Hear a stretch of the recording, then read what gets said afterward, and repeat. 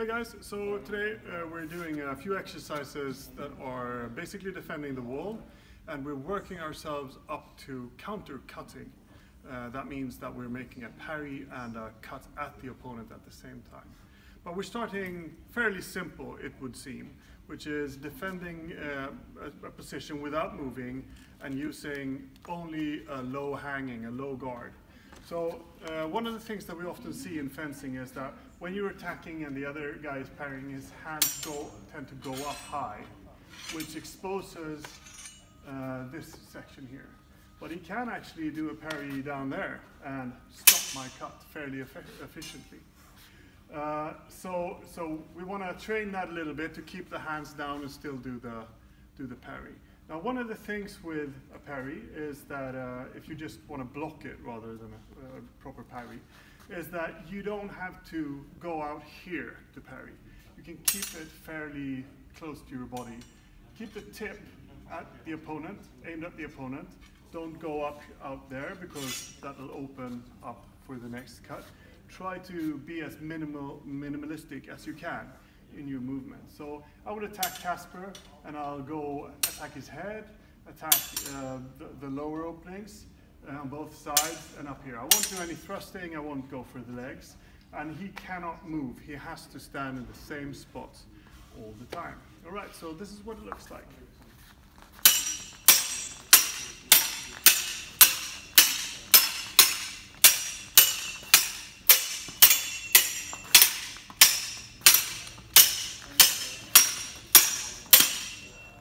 Okay, so that's exercise number one.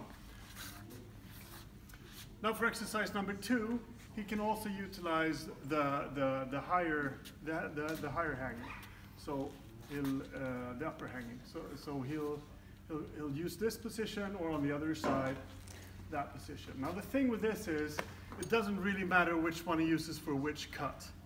All right, so I can cut here and I'll cut around and he'll just move out of the way, maybe shift his feet as he does so, all right? So that goes there and then it goes there. And on the other side, you can parry that one and then go for that one.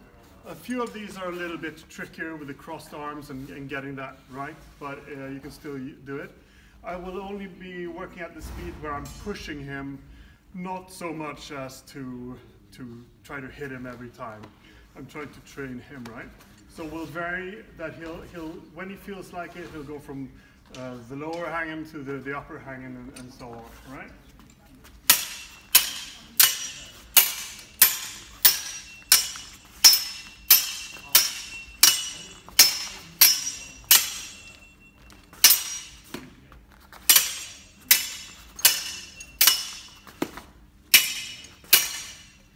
As you can see, if I hit him, no big deal, we'll just continue.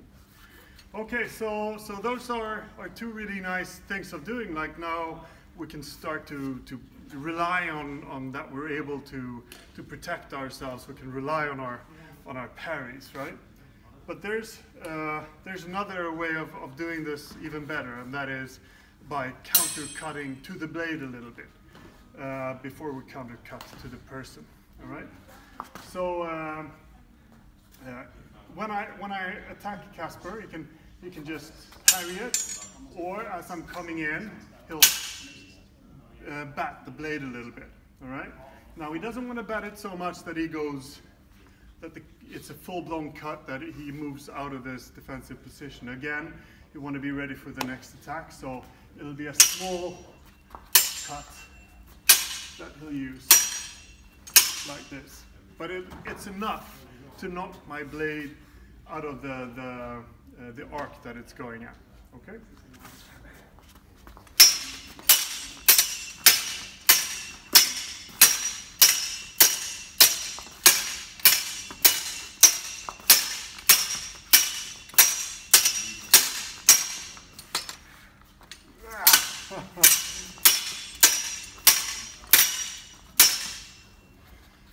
Okay, so so that was that exercise. Now, the thing is, uh, you can you can get a little bit more time for your attacks if you also move a little bit. So if if Casper comes in from from this side on me and cuts there, and, and I'm moving out a little bit, or if he comes in from the other, di uh, other direction, I'll move out like this. It gives me an opportunity to get a little bit more time uh, to, to perform that defense a little bit more efficiently. All right, so, so he can come in with attacks and I'll back the blade a little bit. I'll move out of the way. Like this. So I'll, I'll still, I, I won't, I'm not running around, I'm not trying to use my distance management, but I'm, I'm leaning, I'm using angles with my body to get out of the way a little bit and, and to, to get a little bit more time and to take cover behind my blade for an incoming cut, like here, right? So that gives me a little bit more edge, right?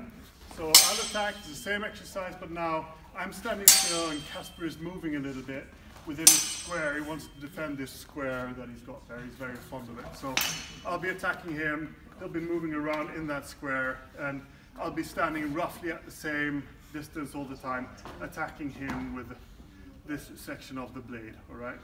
So I won't be going in here and attacking because it'll be impossible for him to defend, right?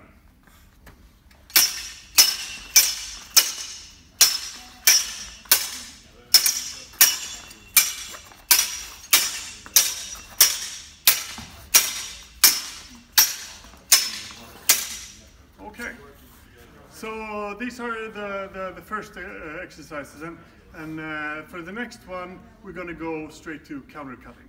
We're going to pause on that. Oops, we just switched places and I got gear on. Uh, okay, Magic. so, so sorry. Magic. Magic, it was magic. Okay, so counter cutting then, and what I mean with counter cutting is that I'm uh, both stopping the incoming blade and cutting at Casper. So, uh, so it's not that I'm, I've created an opening and then I'm just hitting him. I'm trying to get that technique in where I'm stopping his blade and I'm cutting at his head at the same time or a, another body part. Uh, now, I try to limit myself when doing this exercise, so I'm trying to work with only a few attacks. And it could be, for example, a Scheitel or a, uh, um, a Zornhau or a Schielhau or whatever. It doesn't really matter uh, which, which attack it is. But, uh, but I won't try to do every one at the same time. So you can do, you, you want to counter with this specific attack. For example, when you're training Schielhau, you try to do the Schielhau. Okay? So uh, I'll use the parries that we just went through.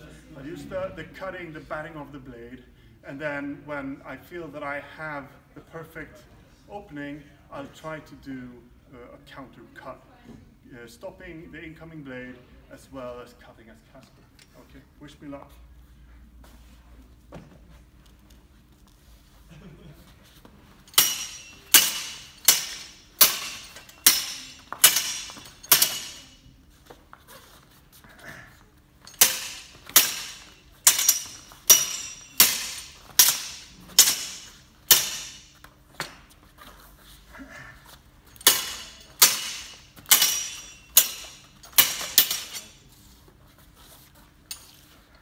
Okay, so this is a very good exercise for, for learning how to actually use your parries uh, and um, put some opposition against uh, the blade so that it's not just a static uh, parry. Uh, and also to, to get that um, counter cut just right for each individual cut that you're working with. So I hope you enjoy that and I hope that you can use it. And, uh, um, if you have any comments, if you have any suggestions, uh, please write a comment or send me an email. Thank you very much. Thank you.